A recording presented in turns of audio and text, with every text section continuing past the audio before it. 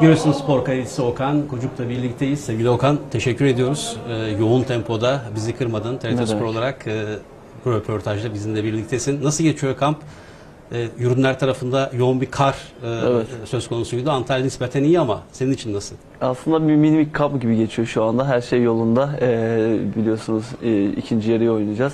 Ee, biz de yeni transferlerle e, daha da güçlenmeye çalışıyoruz. Burada performansımızı arttırmaya çalışıyoruz.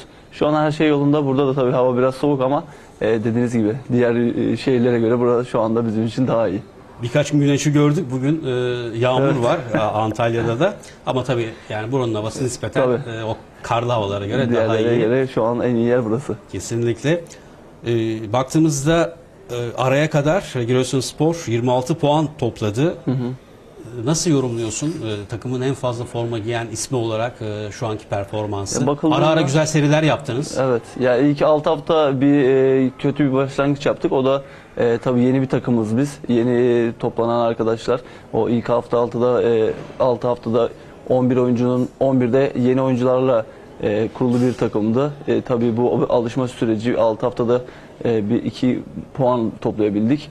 E, sıkıntılı bir süreç geçirdik. Bu e, sıkıntılı süreçte tabii ki herkesin bir ön yargıyla yaklaştığı Giresunspor küme düşebilir diye direkt ama bir 6. haftadan sonra bir toparlanma sürecine girdik. E, bir galibiyet aldıktan sonra tabii takımın özgüveni geri geldi. E, galibiyet serileri geldikten sonra da e, iyi bir istatistik yakaladık. Şu anda da 26 puandayız. E, umarım e, bir, birkaç maç daha seri yakalarsak e, bu sezon bu ligde kalıcı olmak istiyoruz. Yani baktığımızda Beşiktaş karşısında aldığınız flash bir sonuç vardı. Yine bununla birlikte Galatasaray'ı deplasmanlanmaya başardınız. Ee, Bunlar hep flash sonuçlardı Giresunspor adına. E, tabii e, büyük takımlara karşı tabii ki bilirsiniz Anadolu kulüpleri biraz daha e, daha e, iyi konsantre olurlar. Biz de o maçlarda e, gerçekten iyi performans gösterdik. E, istediğimiz puanları da aldık. En son Trabzon'dan da bir puan aldık. Dediğim gibi e, ikinci yarıdaki maçlar daha zor oluyor ilk yarıya göre. Biz de elimizden gelenin en iyisini yapıp en maksimum puanı toplayıp e, ligde kalıcı olmak istiyoruz bu yıl. Şimdi Trabzonspor maçına değindin. Puanı aldık dedin ama aldın. Yani, Yani- orada puanı. Ee, Yani ger- aldım denemez tabii ki yani penaltı kurtarmak tabii hani benim ben kurtardım ama e, gerçekten takım bu sezon çok iyi bir takım savunması yapıyor. E, liginde zaten en az gol yiyen 3. 4. takımlarından biriyiz. Bu da gösteriyor ki takım gayet e, iyi bir savunma yapıyor. Takımın e, içerideki birlikte e, arkadaşların anlayışı gerçekten onlar bana çok yardımcı oluyor. Ben de elimden geldiğince onlara yardımcı oluyorum. E, benim başarım e, onların da başarısı, onların başarısı da benim başarımdır. Hayır şimdi e, normalde kaleciler tabii penaltı kurtarıyorlar ama Evet. arka arkaya iki vuruşu da kurtarman çok farklı e, bir durum oldu. Yani motivasyon anlamında, takımına anlamında, izleyenler anlamında, taraflı tarafsız herkesin helal olsun dediği e, bir durum ederim. söz konusu ortaya çıktı. Ya aslında e, baktığınızda hiçbir maçta belki de yani 100 maçta bir böyle bir şey olabilir belki. Dediğiniz gibi. E, o gün de bana denk geldi. İkisini de kurtardım. Mutluyum. Çünkü gayet iyi giden bir maçta e, bir sıfır öne geçtik. Birbiri yakaladılar. E, tabii ki oradan bir, bir puan almak çok önemliydi. Çünkü e, o diğer maçlar için e, moral, motivasyon anlamında çok önemliydi. E, tabii iki penaltı olunca ve ikinci penaltıdan sonra bir umutsuzluk oldu diyebilirim ama çok şükür ikinciyi de kurtardım ve bir puan aldık o gün. Bakasetas da yani iyi vuruşlar yapan e, bir oyuncu. E, ilk kurtardıktan sonra ikinci de şimdi şöyle bir durum olur. Hani ben de amatörde olsa kalecilik yaptım.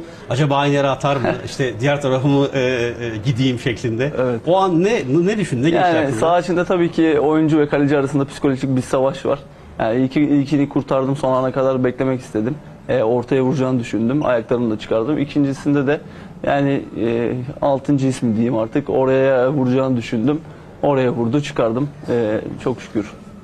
Şimdi aslında tabii e, bu tesadüf değil. 2014-2015 sezonundan bu yana en çok penaltı kurtaran kalecilerde e, 8 kurtarışta %42 ile liste başısın. Evet. Yani burada baktığımızda Harun Tekin %40, e, Beto %39, Muslera e, %14, e, Farnol %22 şeklinde gidiyor.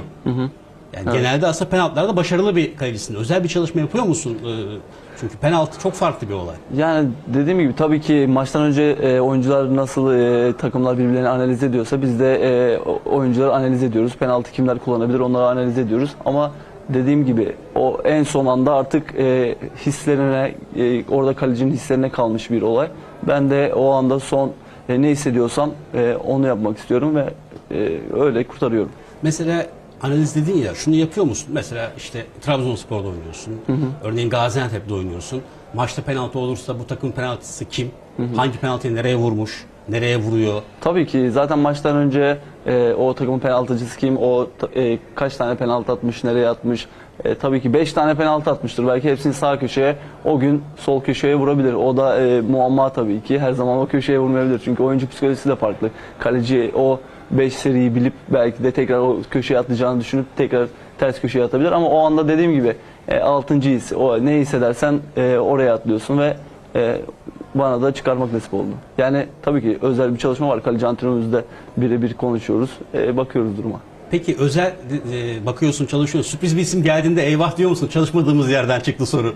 Yani aslında bazen evet hiç penaltı vurmayan bir isim geldi mesela Kasımpaşa maçında e, penaltı olmuştu. Hiç vurulmamış mesela. Hiç vurmamış. Ben hiç, yok yani analizde. O anda hissettiğin yere gidiyorsun. Bakasitas da galiba bu sezon hiç penaltı kaçırmamıştı bana kadar.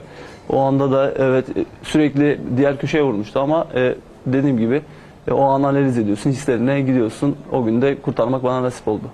Okan şimdi e, bu süreçte Galatasaray oyuncusun. Giresunspor'da e, forma giyiyorsun. E, bu süreçte performansın kadar sağ dışında en çok konuşulan isimdin. E, bu süreci e, nasıl geçirdin? Yani motivasyonu nasıl sağladın? Ya tabii ki sürekli e, konuşulan bir konu var. E, ama ben de sonuçta şu anda Giresunspor'da e, Giresunspor'un oyuncusuyum. Ben de saha içinde kendi e, takımım için ve kendim için yüzde yüzünü vermek istiyorum. Sonuçta Galatasaray'dan kiralık gelen bir oyuncuyum. Daha güçlü dönmek için zaten kiralık olarak bir yerlere gitmek istedim sezon başında. Oynayarak kendime daha çok güvenimi gelerek e, insanlara kendimi kanıtlamak için. Çünkü e, Türkiye Ligi'nde ben de varım demek için e, bir yerlere kiralık gitmek istedim aslında. E, dediğim gibi yani e, konuşmalar tabii ki sürekli oluyor. Ben de e, daha çok çalışarak e, kendimi göstermeye çalışıyorum. E, yani çalışarak e, bunun üstesinden geldim. Daha güçlü bir şekilde döneceğim. E, E, dönme tabii ki kiralık oyuncuyum. Yani e, sonuçta Galatasaray'ın oyuncusuyum. Ben de dediğim gibi sezon başı e, daha güçlü dönebilmek için bir yerlere gitmek istedim. Kiralık oynamak istedim. E, güçlü dönebilmek için. genç bir oyuncusun. E, Kariyer planın, hedefin e, son zamanlarda e, maşallah diyelim ligimizden e, Avrupa'ya ihtiyacımız e, oldukça Çok, fazla. evet. Okan'ın, kaleci Okan'ın e, kariyer planı e, nedir? Yani sezon başında tabii ki kendime hedefler koydum. koydum. Ee, buraya gelmeden önce de tabii ki çok iyi performans gösterip milli takıma seçilmek tabii ki öncelikli planım. Ee, hedeflerimden bir tanesi. Umarım bu sezon bunu başarabilirim. Ee, performansını daha üst seviyelere çekmem gerekiyor. Çünkü e, gerçekten çok iyi Türk kalecilerimiz var artık. Ee, Uğurcan, Altay, Ersin, İrfan Can, e, daha da bir sürü e, sayamadım. Rize'de Gökhan çok iyi Türk kalecilerimiz var. Hepsi milli takıma aday kaleciler. Ben de e, milli takıma aday bir kaleci olmak istiyorum. Bu e, Türk kalecilerin arasındaki e, gruba girmek istiyorum tabii ki. E, tabii ki benim de bir yurt hedefim var ama şu anda Galatasaray oyuncusuyum. Galatasaray'da tabii ki büyük bir camia, büyük kulüp. Ben de geri dönüp orada daha da güçlü dönmek istiyorum. Tabii ki Galatasaray'da oynamak e, hedeflerimden arasında. E, umarım e, bu hedeflerimi e, yakalayabilirim. Dediğim gibi her gün bunun için çalışıyorum. E, sezon sonunda bakacağız. E, milli takım demişken e, maşallah Türk kalecilerine de son zamanda, son dönemde e, çok başarılı isimler Evet. çıkıyor. Yani orada da yoğun bir rekabet var. Çok hem de inanılmaz çok. Ee, gerçekten e, dediğim gibi e, oyuncular Türk oyunculara güvenildiğinde neler yapılacağını gösteriyor. Başta Uğurcan ol- o- olmak üzere gerçekten mükemmel bir performans sergiliyor.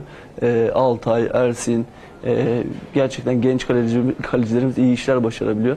E, ben de o grubun içerisinde olmak istiyorum. Umarım e, uzun yıllar milli takım formasını giyebilirim. Son olarak şunu sorayım sana. Seninle ilgili Kosova, e, çünkü Kosova kökenli olduğunu biliyorum. evet. Kosova milli alt e, kategoride de milli formayı giydin diye hatırlıyorum. Evet. E, Kosova milli takımıyla, e, Kosova'yla e, bir bağlantı, Kosova milli takımına davet, öyle bir durum Yani bir aslında açıklayabilir miyiz? 5-6 yıl önce bir davet oldu bana Kosova milli takımından. O zaman tabii ki düşünmedim. E, şu anda da e, öyle bir teklif yok ortada. Ama tabii ki ben Türkiye milli takımı için e, savaşmak istiyorum. Orada bulunmak istiyorum. İnşallah hedeflerini yakalarsın. Çok İnşallah. teşekkür ediyoruz. Ben Çok teşekkür vakti almak ederim. istemiyorum. Birazdan antrenman olduğunu Evet. biliyorum. Başarılar